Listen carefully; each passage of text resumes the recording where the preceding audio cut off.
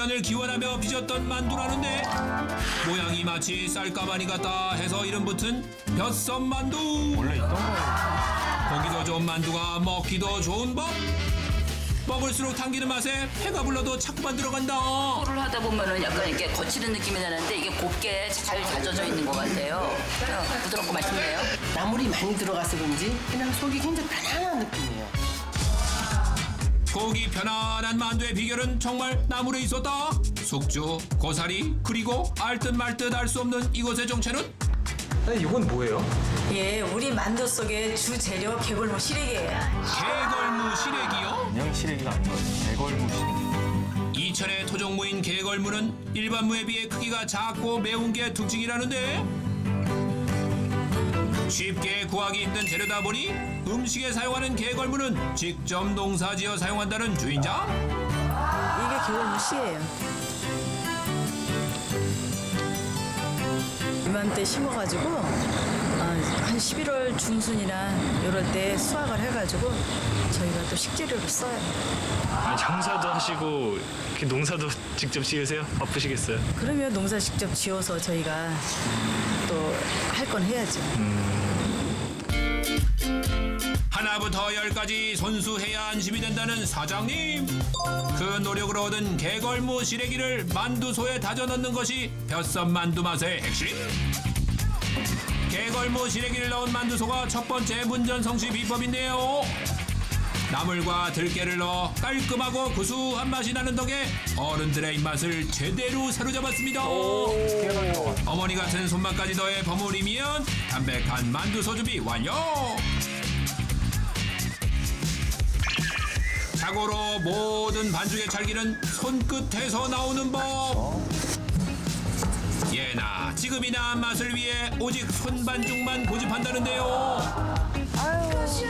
어머니에게 전수받은 그대로 옛것을 지키기 위해 만들기 시작했다는 벼썸 만두. 이렇게. 사각 만두 피에 만두 서너 모양 잡아 빚으면 쌀가마니 모양의 벼썸 만두가 완성됩니다. 그런데 말입니다.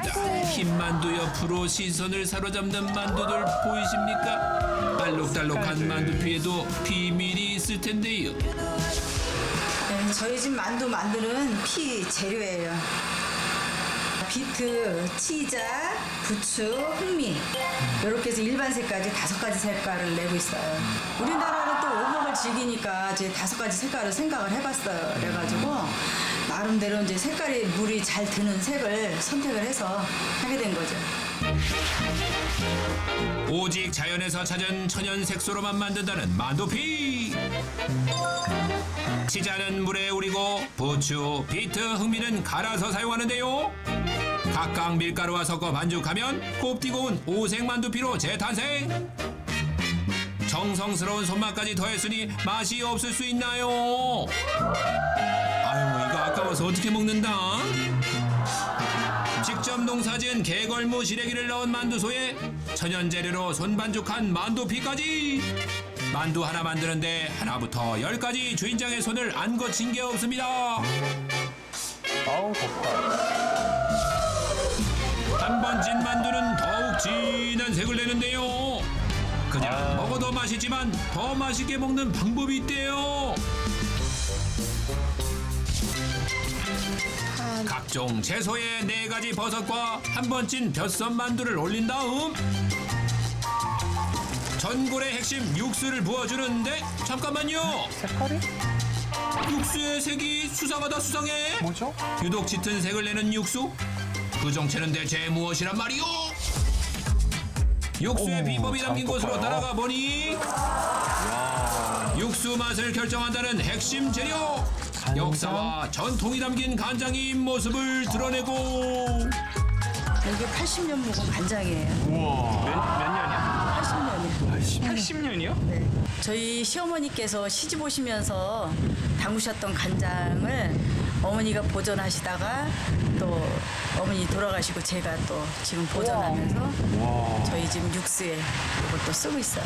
이 간장으로 맛을 내기 때문에 이 간장이 굉장히 중요해요. 저희 집에서.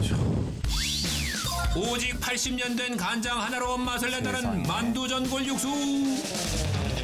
군더더기 없이 깔끔한 맛을 내기 위해 기본적인 재료만 사용하는데 마른 새우, 통마늘, 한우, 양지 등 감칠맛 더해줄 재료는 더도 말고 덜도 말고 딱 두시간만 우려 사용한다고.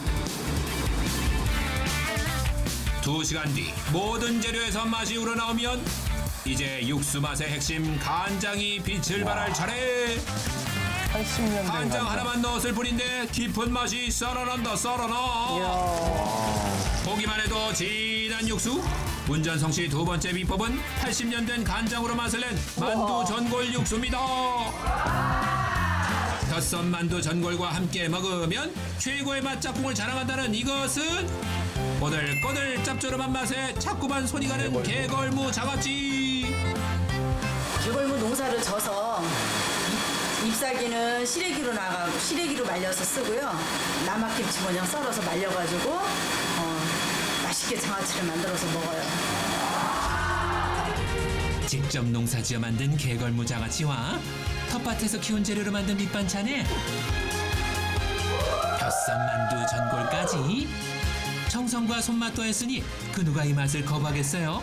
얼마나 맛있게요? 맛과 재료 정성 삼박자를 고루 갖춰다 꿀무구나. 몸에 좋겠네요. 그냥 허려력 허려력 넘어가는구나 아주 건강해지는 느낌이고 어, 뭐랄까 자연식 예, 그런 느낌이에요. 아주 맛있었어요. 아우 이 만두하고 장아찌하고 먹으니까 아주 딱 맞는 궁합이야. 이거 최고야 최고. 고집스러운 손맛으로 탄생된 정성의 맛 문전성 씨의 비밀 다음 주도 기대해 주세요.